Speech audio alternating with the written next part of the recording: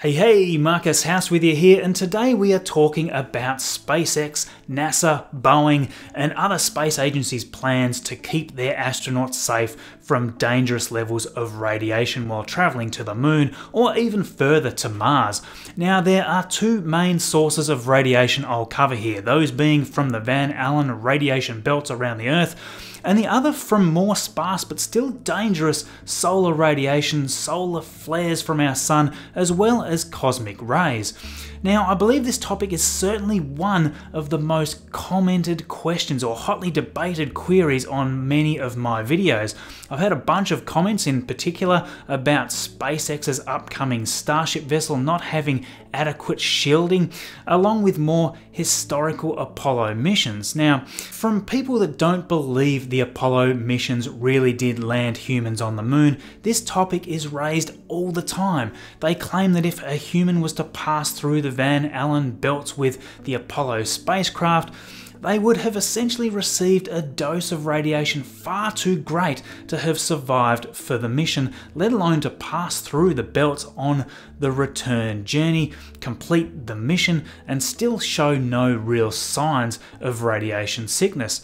No matter if we're talking SpaceX's Starship or Apollo, this issue is the same. So, how did NASA protect astronauts 50 years ago? What have we learned since the Apollo missions? And how are SpaceX and NASA going to protect astronauts in upcoming missions to the moon, which could be coming up in only a few years? Let's talk a little about the types of radiation we need to be aware of. Firstly, the Van Allen radiation belts. The discovery of the belts was made by several satellites in the late 50s, such as Explorer 1 and Pioneer 3. James Van Allen is credited with the discovery as his instruments were used on the satellites. He discovered that there are multiple dynamically changing belts, kind of donut shaped, that surround the Earth. These belts are made up of charged particles, most of which come from the Sun, are captured and held there by the Earth's magnetic field. Now, there are basically two different distinct belts um, and other temporary belts which can also appear and disappear with irregular solar activity. Earth's two main belts sit at an altitude around 640 kilometers to 58,000 kilometers, and there are very distinct regions within these altitudes with varying levels of radiation. The belts are located in the inner area of Earth's magnetic field, and although these belts form a terrific shield around the Earth which protects the atmosphere from rapid destruction, they do also form a quite dangerous layer of radiation that makes travel away from Earth more problematic for humans.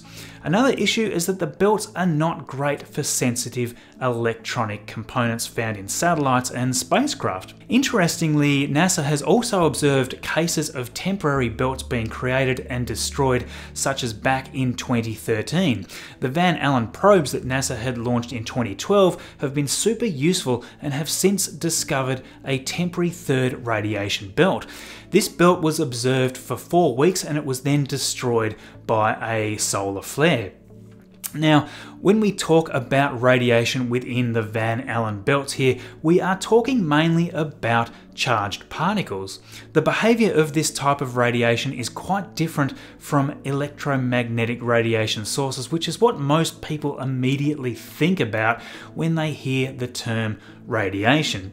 The typical claim from moon landing deniers is that there is too much radiation in outer space for manned space travel, and to quote a little from quite an old site linked in the description, after witnessing the horrors of Hiroshima and Nagasaki and the tragedy of Chernobyl, it is not surprising that the idea of radiation should elicit an intuitively fearful reaction. But when you understand the different types of radiation and what can be done about them, it becomes a manageable problem to avoid radiation exposure. Now, there are, of course, various forms of damaging electromagnetic radiation constantly coming from our sun, as well as cosmic rays originating from outside the solar system. The main source of radiation from the Van Allen belts themselves are from high energy charged particles such as alpha particles, beta particles, and protons. Alpha particles are quite large, and because of that, they are really quite easy to shield against. A large percentage can even be blocked by something as simple as a sheet of paper. Even if alpha particles hit someone directly, they cannot even really penetrate much further than the top layer of dead skin. Not a real source of worry there. Beta particles, however, are electrons which are very tiny and can penetrate centimetres into the body. Luckily, these are so very small that they do very little damage. Beta particles can be blocked reasonably well with only a few millimeters of aluminum, uh, but one of the best ways to block these particles is with material containing a large percentage of hydrogen. Around 10 centimeters of water, as an example, will effectively block almost all beta particles. We need to take some water to, you know, survive, so that's great, uh, but water is pretty ineffective as a shielding material given that you can't really use it as a building material for walls and radiation shelters. A great material that blocks beta particles is high density polyethylene, which is made up essentially of carbon and hydrogen. For those out there suggesting a thick lead shield would be required to block all the intense radiation, the opposite is actually true. When beta particles hit heavy metal atoms, the impact causes those atoms of lead to produce X-rays. So wait, in this case you need lead shielding to block the X-rays created by the lead shielding? That's probably not the greatest idea to fly a bunch of lead through the belts. Now, the inner Van Allen belt is a lot stronger than the outer belt, but it's also quite a lot smaller. With the Apollo missions as well as future missions by other launch providers such as SpaceX, the idea is to pass through the belts as fast as practical after the translunar injection burn, and then on the return mission to again pass through as rapidly as possible to minimize the time the spacecraft is exposed within the belts. Another huge factor that doesn't get talked about a great deal is that missions such as Apollo didn't fly straight through the most intense areas of the belts. They largely flew around them. Apollo 11's translunar trajectory was inclined, allowing the spacecraft to rise quickly up above the equatorial plane as it headed away from the Earth. As you can see from this diagram, Apollo 11 easily avoided the most intense areas of both the inner and outer belts, and this greatly minimized the exposure that could have occurred.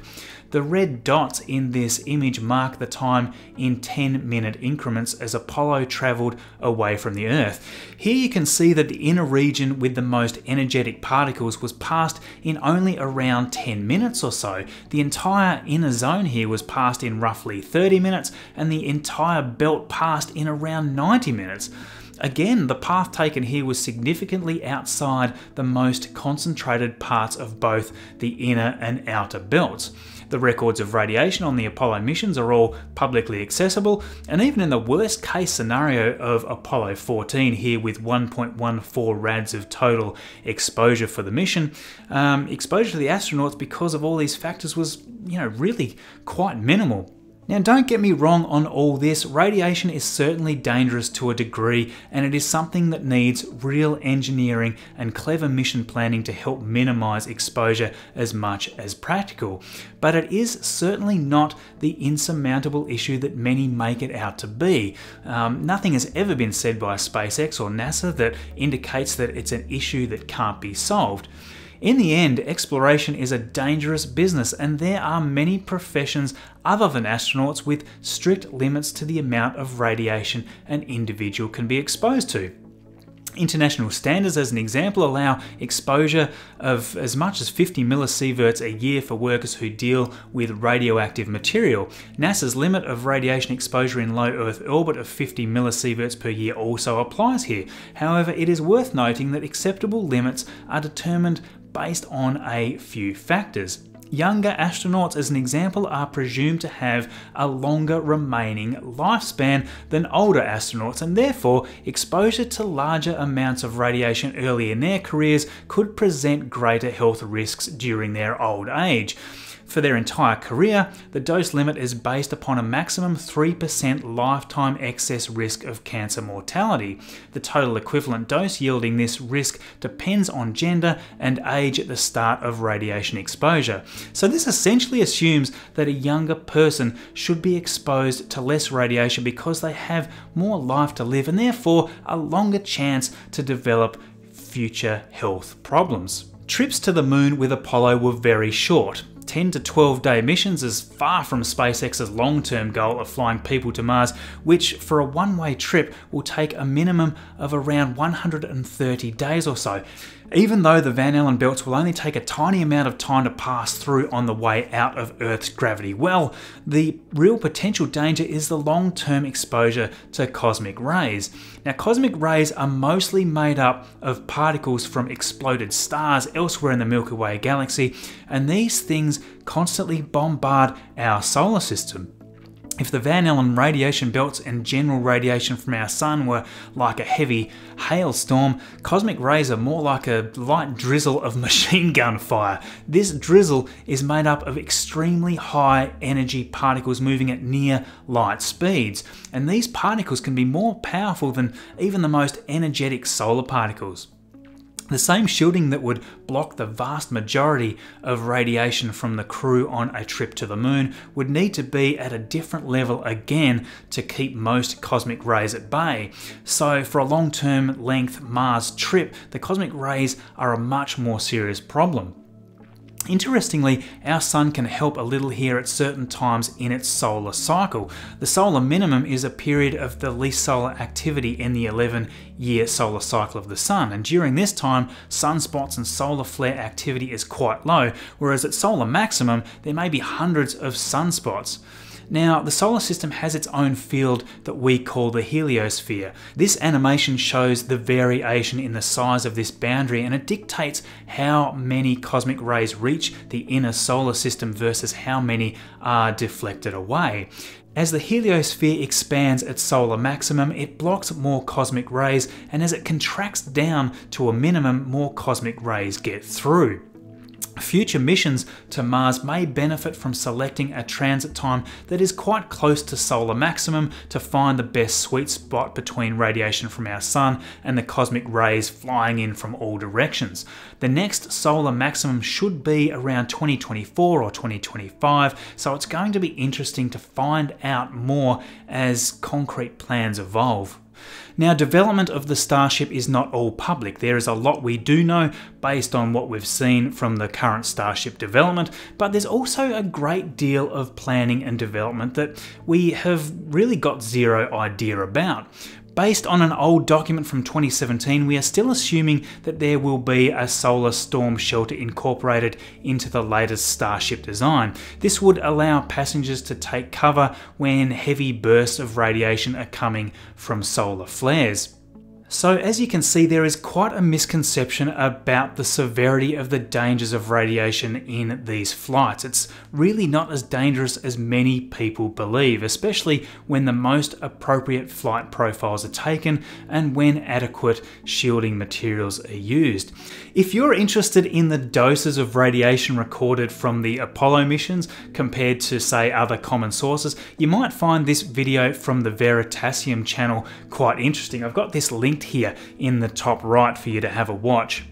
Now, you might be surprised just how much radiation we are constantly exposed to in our general lives. Compared uh, to a trip to the moon, it really isn't that big of a deal. And if you're a smoker, you might just be a little surprised at how much radiation you can receive in comparison to an astronaut. Now, I'd like to know what you all think. Would you be happy to pass through the Van Allen belts and risk the dangers of cosmic radiation for a chance to travel to the moon or even to Mars? Let me know in the comments below. Uh, of course, a huge thank you to everyone here for watching. If you like this content and would like to support what I do here, please do take a second to subscribe, like, and share. Your support is incredible, and without you, I just couldn't do what I'm doing here.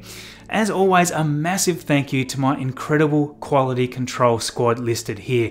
If you are interested in these topics and you would like to be part of the awesome research and discussions that we go through, follow my Discord link in the description and join us all in there.